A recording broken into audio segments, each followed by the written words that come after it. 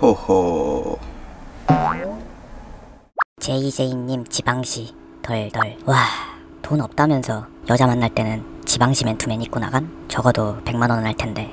아이 지방시는 또 뭐야 이.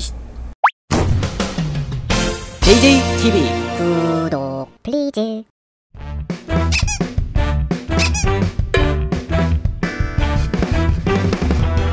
오케이 느낌 알았어 아이고 여러분 안녕하십니까. 제이제입니다. 반갑습니다. 안녕. 아야 느낌이 왠지 그 골든구스 때 딱 그 느낌인데 비슷한 컨텐츠이기 때문에 영상 짧게 갈게요. 지방시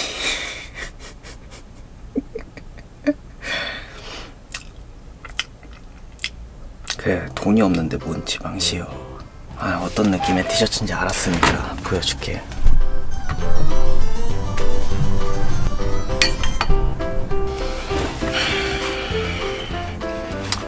지방시라.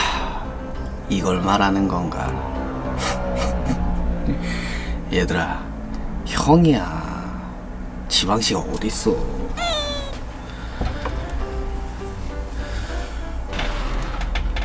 F2F original 에? regular made in China M 사이즈. 이거 작년에 홈플러스에 강아지 밥 사러 갔다가 산 거예요. 8,000원짜리 지방시 같은 소리하고 앉아있네 진짜. 아니 뭐 별만 있으면 다 지방시냐? 아 이건 엄연히 브랜드가 이렇게 있는 건데. 이것도 따라한 거였어? 나 이것도 입고 다니면 안 되는 거야 또?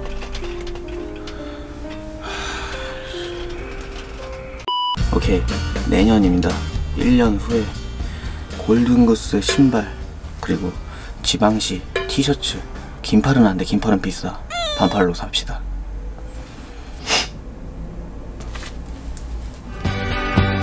지금은 우리가 헤어져야 할 시간. 다음에 또